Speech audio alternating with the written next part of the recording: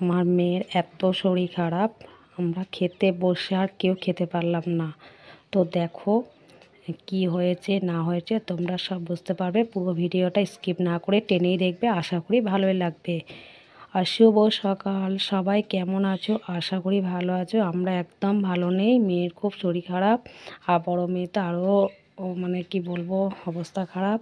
তো দেখো তোমরা ভিডিওটা পুরো তাহলেই জানতে পারবে। আর দেখো মাছ নিয়ে চলে এসেছিল সকাল সকাল পর রান্না বান্না করার জন্য যে হ্যাঁ ভালো করে বেশ একটু দুপুরে খাব। তো দেখো এখানে দুটো পাম্পলেট মাছ আছে আর বড় মাছ আছে। তো আমি বেসিনে ধুয়ে নিলাম। আর তারপরে দেখো এদিকে ভাত, ডাল আমি বসিয়ে দিয়েছি দুটো একসাথে। আর এদিকে দেখো মাছগুলাকে মা ভেজে নিল। কড়া কড়া করে। তারপরে দেখো এদিকে আমার বর রান্না মানে করছে, মাছের কালিয়া করবে। তো দেখো এদিকে বসিয়ে দিয়েছে কালিয়াটা। তাড়াতাড়ি করে কেন যেতে হবে এক জায়গায় সেই জন্যেই আর দেখো, আর কোথায় যেতে হবে তোমাদেরকে সবই বলব। দেখো কালিয়াটা বানাচ্ছে, খুব সুন্দর হয়েছিল কিন্তু খেতে। দেখেই কত সুন্দর লাগছে বলো তো, যে মনে হচ্ছে হ্যাঁ ভালোই হবে খেতে। তো খুবই সুন্দর হয়েছিল। আর দেখো, তো আর বর যে রান্নাটা করে সত্যিই খারাপ হয় না, খুব ভালোই হয়। তো সেই জন্যই ও রান্না করতে চলে যায়। আর এমনিও আমার বড় মেয়ে, ছোট মেয়ে সবাই বড় হাতে রান্না খেতে খুব ভালোবাসে। তো দেখো, আর আমি স্নান টান করে চলে এসেছি। দিয়ে চলে এসে দেখো, এদিকে আমারও কিন্তু শরীরটা ভালো নেই। দেখো, চোখগুলা ঝামড়াছে খুব জ্বর আমারও। আর মেয়ের তো, ছোটো মেয়ের তো আছেই, বড় মেয়ে তো যেখানে গেছে সেখানেও তো ওখান থেকে বাড়ি আসছে, ওখানে থাকতে পারে না, ও কোর্সটা পুরো করতে পারেনি। তো কী আর বলব তোমাদেরকে, ঘরে আমাদের একটু কী বলব, খুবই অশান্তি চলছে। তো তার মাঝেও দেখো আমি ভিডিও করছি প্লিজ দেখবে তোমরা ভিডিওটা। আর ভালো লাগলে আমাকে লাইক কমেন্ট শেয়ার করবে। সাবস্ক্রাইব করতে কিন্তু ভুলবে না। নতুন কোনো বন্ধু হয়ে থাকলে আমার সাবস্ক্রাইব করে নেবে চ্যানেলটাকে। তো যেরকম আমি ভিডিও পাঠাবো, তোমাদের চল পচে যাবে। তো দেখো আর কি কি রান্না হয়েছে। তো এদিকে তো আমি দেখালাম, মাছের কালিয়া হয়েছে, এদিকে আলুর চোখা হয়েছে, ভেন্ডি সেদ্ধ করেছে মা, আর কালো আলু সেদ্ধ করেছে। আর কিছু বেশি কিছু করিনি, কেন ঘরে সব মন মেজাজ কেউই ভালো নাই, তো সেই জন্যেই। আর চলো তোমাদেরকে আমি সবই দেখাচ্ছি। আর মেয়ে একটু ছুটে বেড়াচ্ছে, কেন একটু গরম জল দিয়ে স্নান করে দিয়েছিলাম, তো তার জন্যে। ও তার আগের দিনে যেন তো আমরা কালীবাড়ি গেছিলাম, তো গরম জলে, ঠান্ডা জলে স্নান করেছে বলে খুবই ঠান্ডা লেগে গেছিল, আর সেই রাতে থেকে খুব জ্বর। আর বুঝতে পারছি না কি হবে। আর দেখো, রডটা আমি বের করেছি জল করা জল গরম করার জন্যে। তো বর দিনকে রাতে এসেছিল, তো তারও জল গরম করতে হচ্ছে। এখন তো ঠান্ডা মোটামুটি দেখো, রাতের দিকে গরম গরম পড়ছে আর ভোরের দিকে ঠান্ডা লাগছে। আর এমনি রাতের দিকে স্নান করতে গেলে জলে খুবই ঠান্ডা লাগছে। তো বর তো রাতেই বেশিরভাগ ঢোকে বাড়ি, তো তার জন্যেই আমি গরম জলেই করে দিলাম, স্নান করবে। আর তারপরে দেখো মা ছাদে থেকে সব কাপড়গুলো নিয়ে চলে এসছে। আমি এখানে সব বাগিয়ে গুছিয়ে রেডি করে রেখে দিব। কেন তাড়াতাড়ির মধ্যে খাওয়া দাওয়া করতে হবে। মেয়েকে নিয়ে একটু হাসপাতাল হাসপাতাল না, ডাক্তার দেখাতে নিয়ে যাব ভাবছি। তো দেখি ডাক্তারের নাম দিয়েছি যদি পাওয়া যায়। তো তাইলে, আর দেখো এখানে আমি কী কী করেছি দেখো। তো এখানে শাক ভাজা করা হয়েছে। আর দিনে কিন্তু আমি টিফিনের জন্য একটু মতো ঘুগনি করেছিলাম। তো তার আগের দিনে যাই হোক কলাইগুলো আমি ভিজিয়ে রেখেছিলাম। তো এমনিও করতে হবে, তো তার জন্য আমি করেছিলাম। আর এদিকে দেখো মাছের কালিয়াটা করেছে।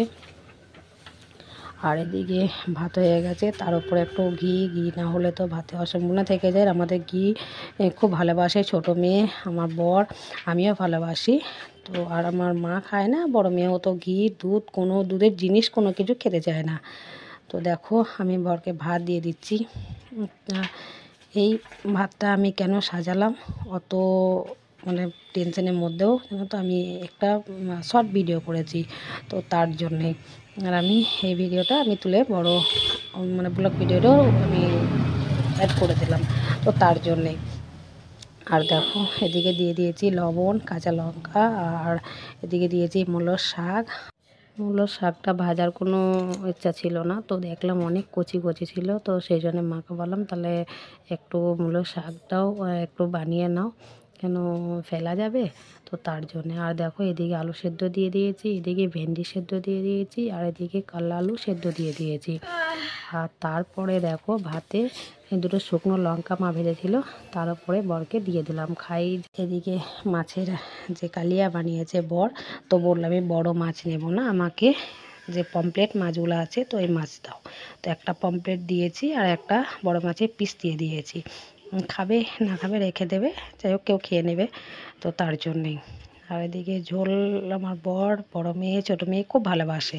আর আমি অতটা ঝোল ঝাল পছন্দ করি না, মাও করে মোটামুটি। তো দেখো বরকে দিয়ে দিয়েছি খেতে। থালিটা কিন্তু আমি খুব সুন্দর সাজিয়ে দিয়েছি, আর খুব সুন্দর লাগছে না দেখতে। দেখো থালিটা। আর তারপরে দেখো বর স্নান টান করে চলে এসছে টেবিলে খেতে বসে গেছে এখানে। আর ছোটো মেয়েও কিন্তু বসে আছে। ও হালকা দুটি ভাত দিয়েছিলাম। যে খাও, না খেলে তো হবে না। তো দেখো, বর ছোটো মেয়েকেও দিয়েছি। ও আশা করি অতগুলো খাবে না। আর তারপরে আমরাও বেড়ে নিয়েছি এদিকে। তো বর তো শেষ পর্যন্ত খাওয়াই জুটলো না, আমাদেরও হলো না। তো কেন খুব শরীর খারাপ হয়ে গেল, তো তার জন্য আমরা সবাই মিলে উঠে পড়লাম। তো কোথায় যাব, কি করব, সেটাই চিন্তা ভাবনা করে তো দেখি আজকে তো আর পাওয়া যাবে না। তো কালকে আশা করি সকাল সকাল নাম দিয়ে কোনো জায়গায় চলে যাব। আজকে এমনি একটা মানে ওষুধ দোকানে একটা দাদা খুব ভালো দেয়। ওষুধ তো তার কাছে, ওষুধ নিয়ে এসে আমি দেয় দিয়ে দেবো। আর দেখো, আমি, মা এখানে কিন্তু আমরা বসছি খেতে। তো খিদেও পেয়েছিল খুবই। কখন টিফিন করেছিলাম, আর টেনশনেও আছি। তো দেখি কত দূর কী হয়। চলো মাও দিচ্ছে দেখো আস্তে আস্তে। আর আমি তো অত ভাত থেকে খাব না, তো মা দিয়ে দিয়েছে। যেহেতু কেন, শরীর ভালো থাকলে তাও তো খেতে পারি না। তার শরীরটা একদম ভালো নেই, কীরকম মানে সব যেন মনে হচ্ছে টকটক লাগছে। শরীরে জ্বর আছে।